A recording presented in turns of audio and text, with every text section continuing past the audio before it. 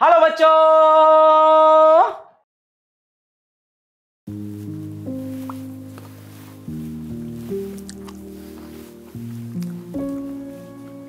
मूंगफली खाए हो कभी? मूंगफली। छिलका तोड़ते हैं, दाना निकलता है और अपन खा लेते हैं। आई होप सब लोगों ने मूंगफली तो खाई होंगी। कई बार आप लोगों के साथ भी ऐसा हुआ होगा कि जब अपन मूंगफली छील के खाते हैं तो दाना नीचे गिर जाता है। सोफे के नीचे चला जाता है। अपन बड़ी मेहनत करते हैं, सोफे के नीचे से दाना निकालते हैं और फिर उसको खाते हैं। तो जो दाना नीचे गिर जाता है, उसके बाद अपन जो उस दाने को ढूंढते हैं और ढूंढ के जब खाते हैं तो यार उस दाने को खाने का मज़ा अलग आता है। आई होप आपको भी अलग मज़ा आता होगा, है ना? मूंगफली खाते हुए दाना गिर जाए और उसको ढूंढ के खाएँ, अलग ही मज़ा आता है। क्यों आता है? क्योंकि वो जो आपने मेहनत की है ना, दाने को ढूँढने के लिए, और उस मेहनत के साथ जो मस्ती की है ढूंढते हुए, वो मेहनत और मस्ती का कॉम्बिनेशन उसके बाद फिर तुम दाना खाते हो तो वो एक अलग एहसास के साथ वो दाना खाया जाता है तो एक डिफरेंट फीलिंग देता है वो। मैथ्स में भी यार वैसा ही है।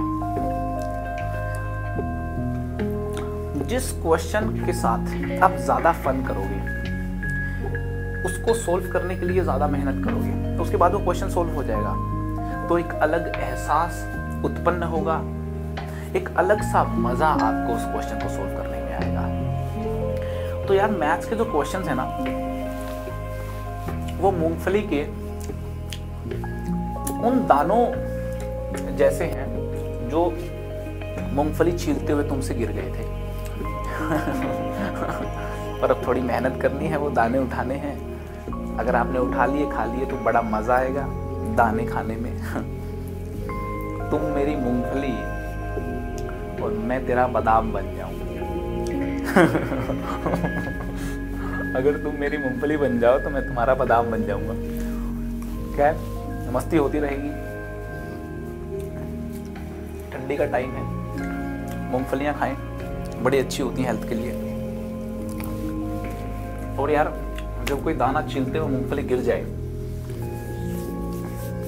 ढूंढ के खाना बड़ा मज़ा आएगा।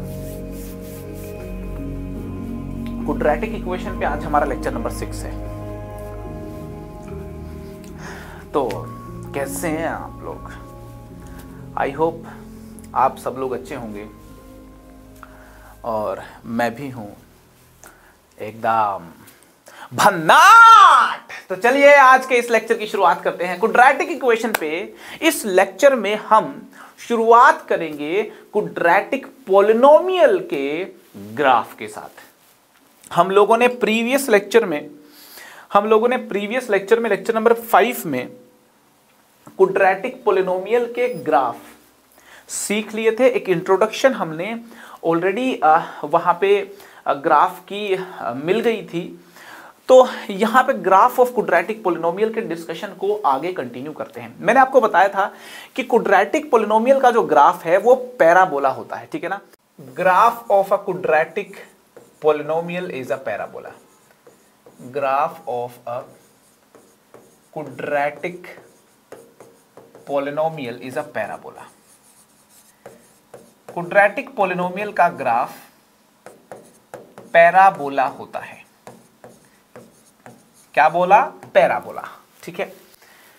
अब यार, देखिए, यहाँ पे अपन डिस्कशन कर रहे हैं कुड्रेटिक पोलिनोमियल इन एक्स ठीक है?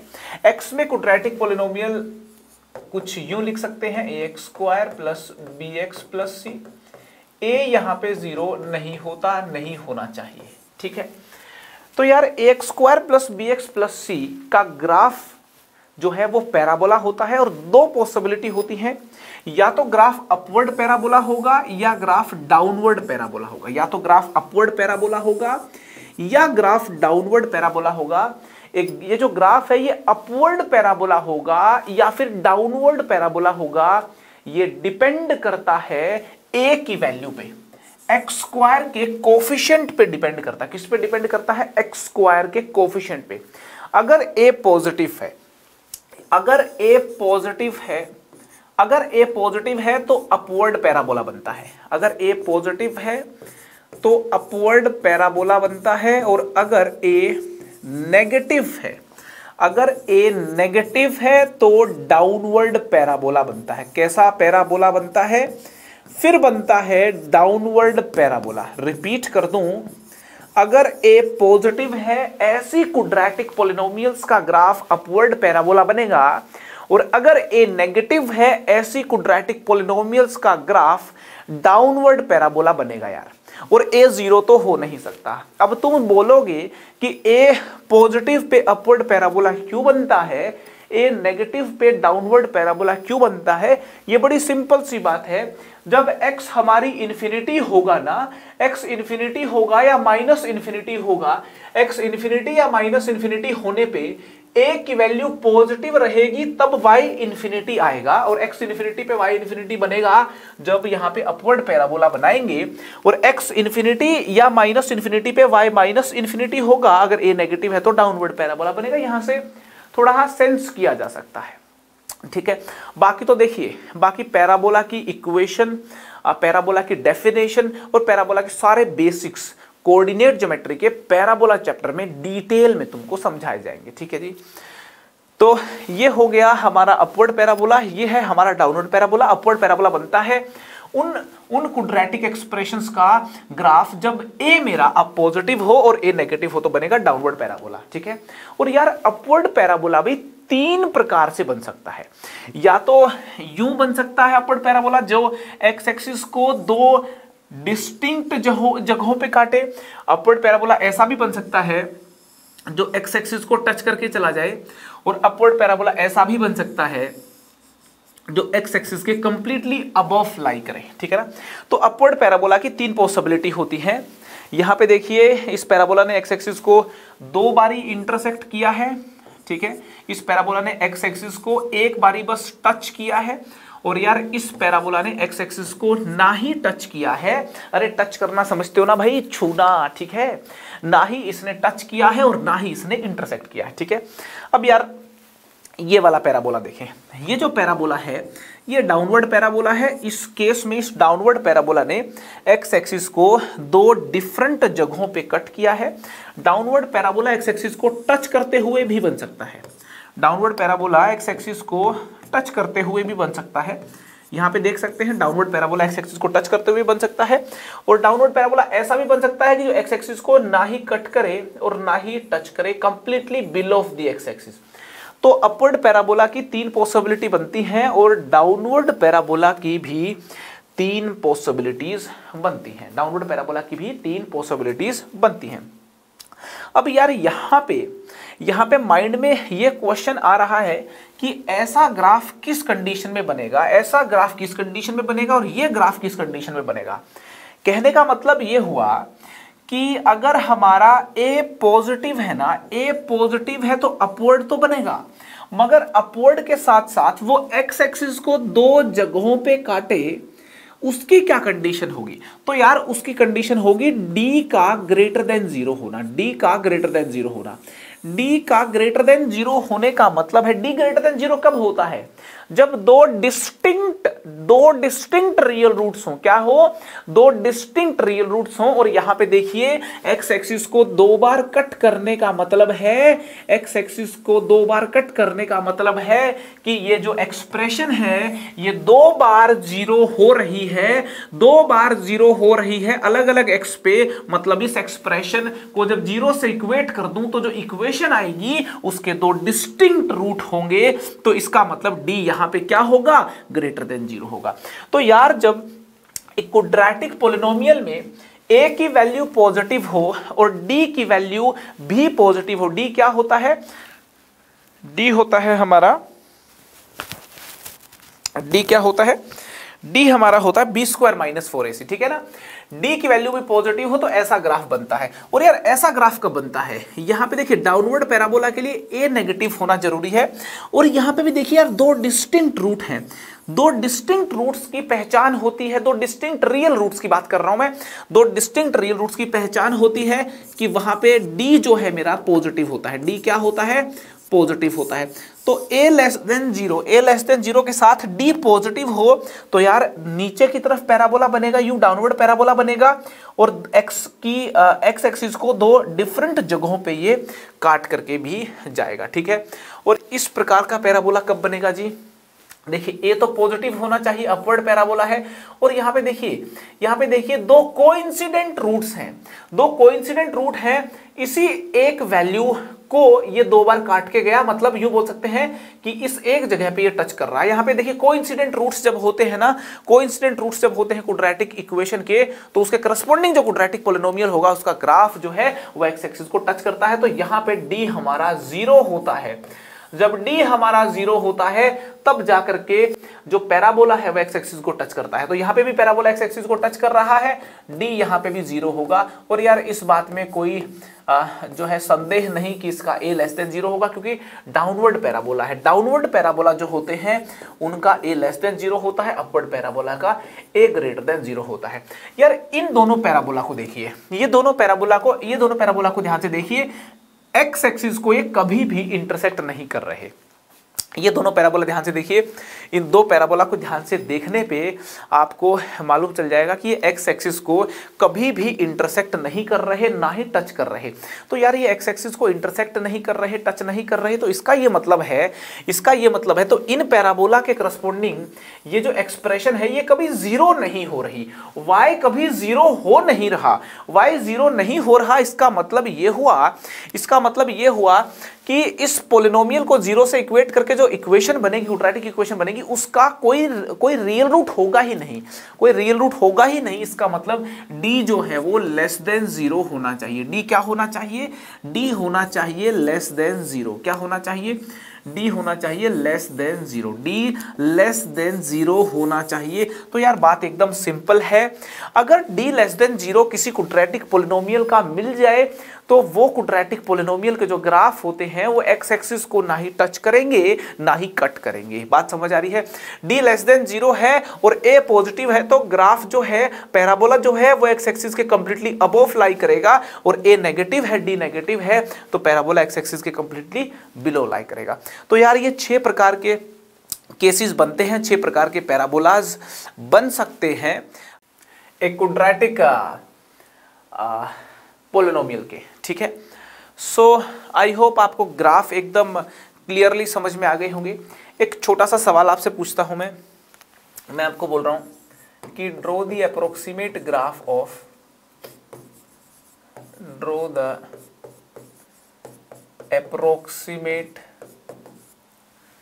graph of f x is equal to x square minus five x plus six ठीक है ना? इसका एक रफ ग्राफ बनाए, ठीक है ना? अप्रोक्सीमेट ग्राफ बोले तो एक रफ स्केच बनाना है, ठीक है ना? अब हाथ से तुम बना रहे हो तो रफ ही बनेगा यार वो, ठीक है? Draw the rough graph of f x equal to x square minus five x plus six ठीक है? तो यार, ये मालूम है कि ये कुट्रैटिक पोलिनोमियल है तो ग्राफ तो इसका पैराबोला बनेगा। ग्राफ क्या बनेगा? ग्राफ तो इसका पैराबोला बनना है। कैसा पैराबोला बनना है? अपवर्ड पैराबोला बनेगा। इसका अगर अपन ए नोटिस करें ना, इसका जो ए है, इसका ए कितना है? इसका जो ए है, वो है वन। तो ए इसका पॉजिटिव है। ए पॉजिटिव है ए इसका क्या है? पॉजिटिव है हेंस अपवर्ड पैराबोला बनेगा। हेंस क्या बनेगा? अपवर्ड पैराबोला बनेगा। ठीक है? अब इसका डी चेक कर लेते हैं। डी कितना आया? B square minus four a into c तो twenty five minus twenty four d आ गया वन तो डी भी इसका पॉजिटिव है। डी भी क्या है? पॉजिटिव है। है ना? ए भी पॉजिटिव है डी भी पॉजिटिव है। तो इसका मतलब क्या होंगे? टू डिस्टिंक्ट रियल रूट्स होंगे। टू डिस्टिंक्ट रियल रूट्स होंगे। मतलब एक्स एक्सिस को ये टू टाइम्स कट करेगा। अब अगर आप ये भी देखना चाहते हो कि एक्स एक्सिस को ये कहाँ पे कट करेगा, कहाँ पे कट करेगा तो वो भी देखा जा सकता है। आप इस एक्सप्रेशन को ज़ीरो के बराबर पुट करो। इसको आप इक्वेट कर दो। इसको ज़ीरो के इक्वेट कर देंगे ना। इसको जब अपन ज़ीरो के इक्वेट कर देंगे तो इस एक्सप्रेशन के फैक्टर करके इक्वल टू ज़ीरो आ गया। तो यहाँ से देखिए एक्स या तो टू होगा, या फिर समझ आ रही है एक्स कितना होगा थ्री होगा। तो इसका मतलब एक्स इक्वल टू टू और x इक्वल टू थ्री इसके रूट्स है। और पैराबोला कैसा बन रहा है? अपवर्ड पैराबोला बन रहा है। तो यार ऐसा ग्राफ बनेगा। ये जो ग्राफ है, ये x एक्सिस को x इक्वल टू टू बिंदु पे और x इक्वल टू थ्री बिंदु पे काट करके गया है। ठीक है? आपको समझ आना चाहिए कि ग्राफ अपवर्ड पैराबोला इसलिए बनेगा क्योंकि इसका ए पॉजिटिव आया है। ए पॉजिटिव गिवन है। डी इसका पॉजिटिव है। दो जगह तो काटना ही था। किन जगह काटना है, वो भी आप बता सकते हो। किन जगहों पे काटना है, आप वो भी बता सकते हो, कैसे मालूम चलेगा? वो मालूम चलेगा, यार उसके रूट्स निकाल दो आप, है ना? इसको इक्वल टू ज़ीरो करके उसके रूट्स बता दो एक्स की दो वैल्यूज़ आ जाएँगी। तो वो दो लोकेशन समझ में आ जाएँगे जहाँ पे ये जो ग्राफ है एक्स एक्सिस को इंटरसेक्ट करके गया है। आई होप आपको एकदम क्लियरली बात समझ में आ गई होगी, ठीक है ना? कोई भी कुड्रेटिक पोलिनोमियल हो यार, उसका ग्राफ इजीली बताया जा सकता है। ए और डी की जानकारी होनी चाहिए और ये भी देखना है कि वो इंटरसेक्ट कहाँ करके जाएगा तो उसके रूट्स आप फाइंड आउट कर सकते हैं, ठीक है जी? अब यहाँ से एक और बात समझनी है अपने को। ये जितने भी ग्राफ है ना, इन ग्राफ से कुछ बातें और जज की जा सकती हैं। ये जज किया जा सकता है कि ये जो कुड्रेटिक पोलिनोमियल है ना a x square plus b x plus c इसकी मिनिमम वैल्यू और मैक्सिमम वैल्यू क्या होगी? इस a x square plus b x plus c quadratic polynomial की मिनिमम और मैक्सिमम वैल्यू की फील ली जा सकती है इन ग्राफ को देखते हुए। यहाँ पे अगर कोई पूछे इस ग्राफ की मिनिमम, इस ग्राफ को देखते हुए इस पोलिनोमियल की मिनिमम वैल्यू क्या होगी तो हम बोलेंगे ये इसकी मिनिमम वैल्यू है। इससे छोटा ये कभी नहीं होगा और इसकी मैक्सिमम वैल्यू इन्फिनिटी है। मैक्सिमम वैल्यू क्या है? इन्फिनिटी है। यहाँ पे यहाँ पे इसकी मिनिमम वैल्यू कितनी है? ज़ीरो इसकी मिनिमम वैल्यू कुछ यहाँ पे आएगी। पॉजिटिव है मिनिमम वैल्यू और मैक्सिमम कितनी है? इन्फिनिटी तो यहाँ पे तीनों ग्राफ को देखिए, इनकी जो मिनिमम वैल्यू है ना, वो फाइनाइट है और मैक्सिमम वैल्यू इनफाइनाइट है। और यहाँ पे इन तीनों ग्राफ को देखिए, इनकी जो मैक्सिमम वैल्यू है, वो फाइनाइट है और मिनिमम वैल्यू तो माइनस इन्फिनिटी है। मिनिमम वैल्यू कितनी है? माइनस इन्फिनिटी तो ए पॉजिटिव वाली कुड्रैटिक पोलिनोमियल जो होते हैं ना ए पॉजिटिव वाले कुड्रैटिक पोलिनोमियल जो होते हैं उनकी मैक्सिमम वैल्यू यहाँ से देख सकते हैं इनफाइनाइट है, और ए नेगेटिव वाले क्वाड्रेटिक पोलिनोमियल्स जो हो सकते, होते हैं, उनकी आप देखिए मिनिमम वैल्यू को देखेंगे तो वो कितनी है? माइनस इन्फिनिटी है। तो अभी अपन अभी अपन ये देखेंगे कि एक क्वाड्रेटिक पोलिनोमियल की मिनिमम और मैक्सिमम वैल्यू कैसे फाइंड आउट की जाती है, ठीक है? So next topic is minimum and maximum value of minimum and maximum values of maximum values of a quadratic polynomial of a quadratic polynomial a quadratic polynomial की minimum और maximum value कैसे निकाली जाती है? एक एग्ज़ाम्पल के through शुरुआत करते हैं, समझते जाएँगे, पूरी थ्योरी मालूम कर लेंगे कि कुड्रेटिक पोलिनोमियल की मिनिमम मैक्सिमम वैल्यू निकालें तो निकालें कैसे। जैसे मैंने क्वेश्चन दे दिया आपको कि यार y जो है ना, y है x square minus four x plus four तो मुझे y की रेंज बताओ find the range of y range का मतलब है मिनिमम मैक्सिमम वैल्यू बताइए y की। Find the range of y continuous function है मिनिमम मैक्सिमम वैल्यू बताओगे रेंज निकल जाएगी, ठीक है? तो y की यार रेंज बतानी है अपने को, ठीक है? अब देखिए मिनिमम मैक्सिमम वैल्यू y की बतानी है अपने को। तो आपको मैंने प्रीवियस चैप्टर्स में भी कई दफ़े ये बताया है कि एक कुड्रेटिक एक्सप्रेशन कि मिनिमम और मैक्सिमम वैल्यू की जब बात करनी हो ना तो होल स्क्वायर बनाने की कोशिश करोगे तो कमेंट करना इजी होता है। तो यहाँ पे यहाँ पे अपने पास जो कुड्रेटिक एक्सप्रेशन है ना x square minus four x plus four मैं अगर इसमें होल स्क्वायर बनाऊ ना तो ये हो जाएगा एक्स माइनस टू का होल स्क्वायर क्या हो जाएगा? एक्स माइनस टू का होल स्क्वायर और आप बोलोगे, यार, ये जो एक्स माइनस टू का होल स्क्वायर है ना, ये तो greater than equal to zero होता है। तो क्लियरली आप बोल दोगे y की जो मिनिमम वैल्यू है, y की जो मिनिमम वैल्यू है वो तो ज़ीरो होगी। है ना? ज़ीरो से छोटा कभी नहीं हो सकता। और y की जो मैक्सिमम वैल्यू है मैक्सिमम वैल्यू है वो अप्रोच करेगी इन्फिनिटी को। किसको अप्रोच करेगी? इन्फिनिटी को अप्रोच करेगी। क्योंकि होल स्क्वायर तो एक्स की वैल्यू बहुत बड़ी कर दोगे तो बहुत बड़ा हो जाएगा। एक्स की वैल्यू इन्फिनिटी कर दोगे तो इन्फिनिटी हो जाएगा। तो कुल मिलाकर के यहाँ पर रेंज ऑफ़ वाई समझ में आ गई हमको। रेंज ऑफ़ वाई समझ में आ गई अपने को। रेंज ऑफ़ वाई हो गई अपनी ज़ीरो से लेकर के इन्फिनिटी। क्या हो गई? ज़ीरो से लेकर के इन्फिनिटी। ये ये वाली जो क्वांटिटी है ना, इसमें एक्स कुछ भी पुट कर लीजिए आप। इसके अंदर आप एक्स कुछ भी पुट कर लीजिए, ज़ीरो से छोटा नहीं कर सकते इसको आप। इसमें एक्स कुछ भी पुट कर लीजिए, ये क्वांटिटी ज़ीरो आउटपुट देगी या फिर ज़ीरो से बड़े आउटपुट देगी। यार, जब मैंने फ़ंक्शंस की रेंज निकालना सिखाया था ना तो वहाँ पे बहुत डिटेल में, बहुत डिटेल में क्वाड्रेटिक एक्सप्रेशंस की रेंज निकालनी सिखाई थी आपको, ठीक है? तो अभी वापस यहाँ पे अपन डिस्कशन कर रहे हैं, ठीक है?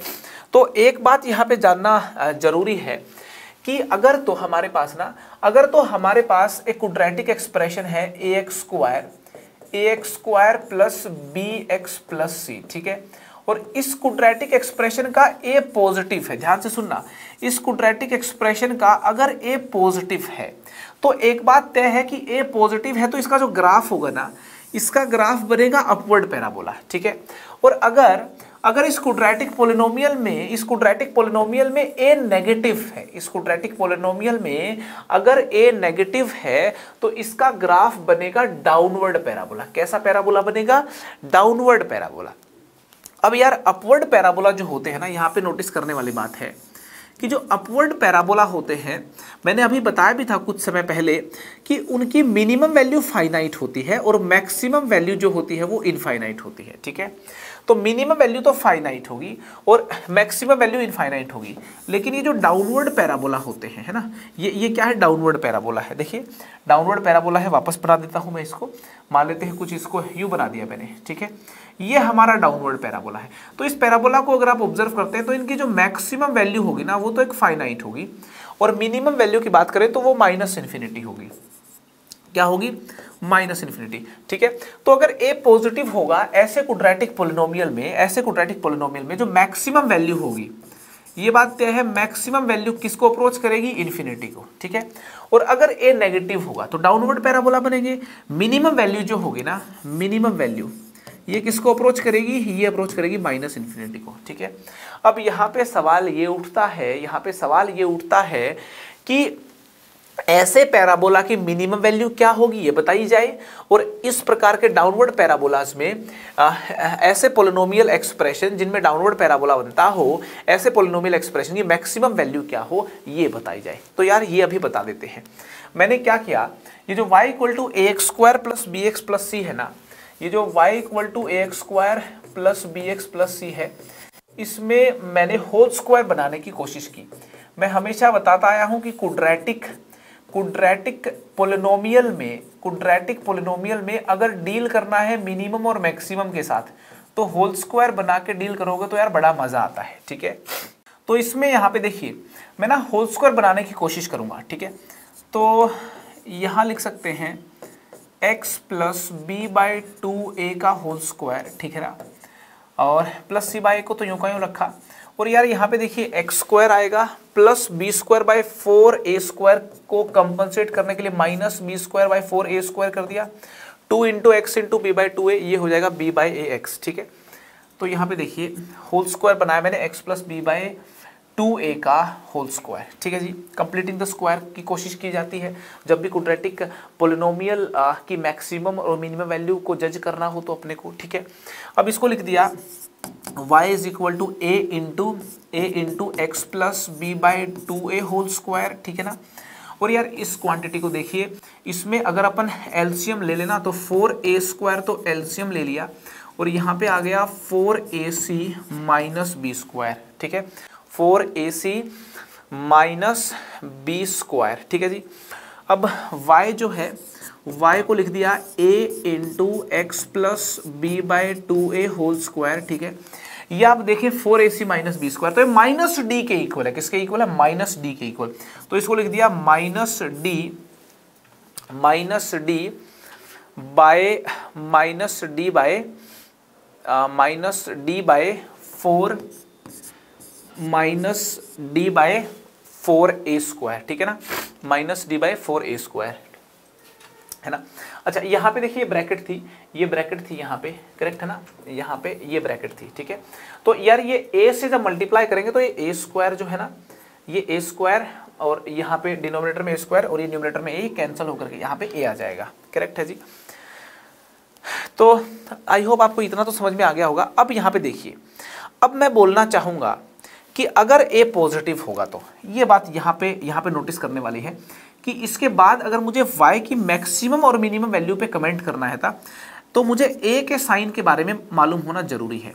तो यार, अगर मेरा a, अगर मेरा a पॉजिटिव है, ठीक है? अगर मेरा a पॉजिटिव है ना पॉजिटिव है ना पॉजिटिव तो ये quantity greater than equal to zero होगी तो यार ये वाली quantity greater than equal to zero होगी। क्या होगी? Greater than equal to zero मतलब क्या होगा कि ज़ीरो से लेकर के आगे बढ़ती रहेगी। इसकी मिनिमम वैल्यू देखना चाहते हो आप वाई की मिनिमम वैल्यू देखना चाहते हो तो इसको मिनिमम होना पड़ेगा और ये मिनिमम ज़ीरो होती है। है ना? ये मिनिमम ज़ीरो कब होती है? जब x की value minus b by two a हो। क्या हो? Minus b by two a ठीक है?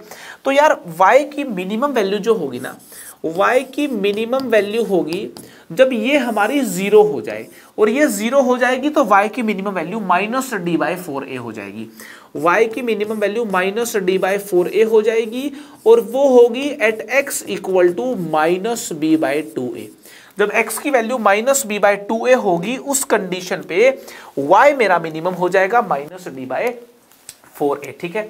और यार, यहाँ पे देखिए, अगर a मेरा अगर ए मेरा नेगेटिव है ना अगर मेरा ए नेगेटिव है नेगेटिव चीज़ है, ये नेगेटिव है नेगेटिव को पॉजिटिव से मल्टीप्लाई करोगे ना तो ये नेगेटिव हो जाएगा। क्या हो जाएगा? नेगेटिव हो जाएगा। अब नेगेटिव में एक्स बढ़ाते जाओगे तो नेगेटिव की तरफ़ हो लेगी ये क्वांटिटी और ये माइनस इन्फिनिटी को अप्रोच करेगी। तो माइनस इन्फिनिटी को अप्रोच करेगी तो ओवरऑल देखोगे तो ये माइनस इन्फिनिटी हो जाएगा। तो वाई की मिनिमम तो माइनस इन्फिनिटी होगी बट मैक्सिमम की बात करें ना, ये एक नेगेटिव चीज़ है। मैक्सिमम वैल्यू जब निकाली जाती है तो नेगेटिव चीज़ जो है ना नेगेटिव चीज़। वो जितनी उसका मैग्नीट्यूड जितना, उसका मैग्नीट्यूड जितना कम रहे, उतना ही अच्छा है हमारी मैक्सिमम वैल्यू के लिए, ठीक है? तो इसका इसका मैग्नीट्यूड जब ज़ीरो हो जाएगा, तब मेरा वाई मैक्सिमम होगा। तब मेरा वाई क्या होगा? मैक्सिमम होगा। तो यहाँ से हमको मालूम चल गया कि ए नेगेटिव पे y maximum minus d by four होगा और वो भी कब होगा? जब एक्स मेरा कितना हो? एक्स मेरा हो minus b by two a यार, यहाँ पे देखने पे देखने पे ज़रूर लग रहा है कि minus d by four a यहाँ पे मिनिमम आ गई। Minus d by four a यहाँ मैक्सिमम आ गई। बट यहाँ क्या हो रहा है ना ए जब पॉजिटिव है ना ए जब पॉजिटिव है, इसको यूँ समझा जा सकता है कि जब मेरी ए की वैल्यू पॉजिटिव है, उस केस में minus d by four a मेरे को मिनिमम वैल्यू देता है वाई की। और जब ए की वैल्यू मेरी नेगेटिव है, उस केस में minus d by four a जो है ना, वो वाई की मैक्सिमम वैल्यू देता है। बात समझ आ रही है आपको? तो कुल मिलाकर के अपन ये बोल सकते हैं कि यार, y की जो मिनिमम वैल्यू है ना, y की मिनिमम वैल्यू वो minus D by four A होती है। क्या होती है? Minus D by four A अगर a पॉजिटिव हो तो minus D by four A Y की मिनिमम वैल्यू का प्रतीक होता है। और अगर a नेगेटिव हो, a नेगेटिव हो तो minus D by four A से हमको y की मैक्सिमम वैल्यू मिलेगी। y की क्या मिलेगी? मैक्सिमम वैल्यू मिलेगी। आई होप यार ये बातें आपको समझ में आ गई होंगी, ठीक है? तो इन इन नटशेल ये बोल सकते हैं, इन नटशेल ये बोल सकते हैं कि ये जो A X square plus B X plus C है ना ए अगर पॉजिटिव है ए अगर पॉजिटिव है तो यहाँ पे इसकी जो रेंज होगी, वो minus D by four A से इन्फिनिटी होगी। और अगर ए नेगेटिव है ए नेगेटिव है तो इसकी जो रेंज होगी ना, इसकी जो रेंज होगी वो माइनस इन्फिनिटी से minus D by four A होगी। ये बात बस आप ध्यान रख लीजिए, ठीक है? जो रेंज होगी ना रेंज जो रेंज होगी वो minus D by four A से इन्फिनिटी होगी, अगर ए पॉजिटिव है तो।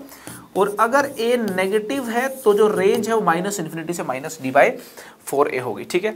और यार, आप पैराबोला का ये जो वर्टेक्स है, मैंने बताया था इस पॉइंट को वर्टेक्स बोलते हैं। इस वर्टेक्स के कोऑर्डिनेट्स भी बता सकते हो यार। यहाँ पे ना पैराबोला का ये वर्टेक्स है है ना? तो ये इस वर्टेक्स के कोऑर्डिनेट बता सकते हो। इसका जो वाई कोऑर्डिनेट है ना वाई कोऑर्डिनेट वाई कोऑर्डिनेट बोलते हो मिनिमम वैल्यू इसकी। वो तो मिल गया अपने को। Minus D by four A और ये वाई कोऑर्डिनेट किस एक्स पे आया है, मैं आपको ऑलरेडी बता चुका हूँ। ये आया है अपना x minus B by two A पे। किस पे आया है? x minus B by two A पे। तो ये एक बात आपको ध्यान रखनी है कि पैराबोला का जो वर्टेक्स है ना, उसके कोऑर्डिनेट्स आपको निकालने हैं तो minus B by two A comma minus D by four A होते हैं। क्या होते हैं? Minus B by two A comma minus D by four A होते हैं। पैराबोला के जो वर्टेक्स के कोऑर्डिनेट याद रखें minus B by two A comma minus D by four A होते हैं। क्वेश्चन सॉल्विंग में बहुत काम आते हैं ये, ठीक है? तो आई होप आपको ये जो minimum maximum value quadratic polynomial की क्लियर होगी, है ना? ए पॉजिटिव पे फाइनाइट मिनिमम वैल्यू होती है ए नेगेटिव पे फाइनाइट मैक्सिमम वैल्यू होती है। बात समझ आ रही है आपको? तो यार, मुझे आप बता दें, दो क्वेश्चन आपको दे रहा हूँ मैं। दो क्वेश्चन एज अ होमवर्क दे रहा हूँ आपको मैं। ये question number one question number two ठीक है? दो क्वेश्चन एज एन होमवर्क दे रहा हूँ आपको मैं।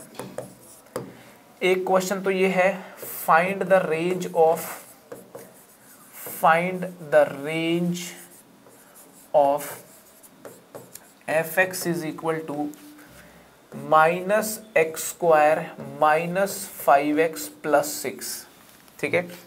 और सेकंड क्वेश्चन है find the range of find the range of fx is equal to under root of, under root of minus x square minus X minus X square minus X plus four इसकी range बताएँ आप, ठीक है? दो question आपको homework में दे रहा हूँ। ये क्वेश्चन नंबर वन है क्वेश्चन नंबर टू है। आप कमेंट बॉक्स में अपना आंसर कमेंट करें। आप कमेंट बॉक्स में अपना आंसर कमेंट करें और ये बात आप जानते हो। मैं सबके कमेंट देखता हूँ, किसने सही आंसर दिया है, किसने सही तरीके से अटैम्प्ट किया है, किसने शिद्दत से अटैम्प्ट किया है, किसका कमेंट जो है वो ओनेस्ट कमेंट है, सारी बातें मैं ऑब्ज़र्व करता हूँ। तो ज़रूर आप दोनों के आंसर्स जो है आप कमेंट बॉक्स में कमेंट करें और इस प्रकार से करें कि आंसर वन यूँ लिखें आप आंसर वन, इसके सामने आप फ़र्स्ट क्वेश्चन का आंसर लिखें। आंसर टू, इसके सामने आप सेकंड क्वेश्चन का आंसर लिखें, ठीक है? और कमेंट बॉक्स में कमेंट करके मुझे ये भी बताएँ कि कुड्रेटिक एक्सप्रेशन की मिनिमम मैक्सिमम वैल्यू निकालने का फॉर्मूला आपको क्लियर है क्या? रेंज कुड्रेटिक एक्सप्रेशन की कैसे निकाली जाए, ये आपको क्लियर है क्या? और आप मुझे बताएँ कि क्या ग्राफ ऑफ़ कुड्रेटिक एक्सप्रेशन आपको क्लियर है क्या? तो आज के इस प्यारे से सेशन में इतना ही। आज के सेशन में इतना ही। जल्द ही मुलाकात होगी हमारी कुड्रेटिक इक्वेशन के अगले लेक्चर में। आज मुस्कुराते हुए अलविदा कहने का समय आ चुका है। तो आज के इस लेक्चर में इतना ही। फिर से मुलाकात होगी हमारे नेक्स्ट लेक्चर में। तब तक के लिए बाय बाय पढ़ाई करते रहें। All the very best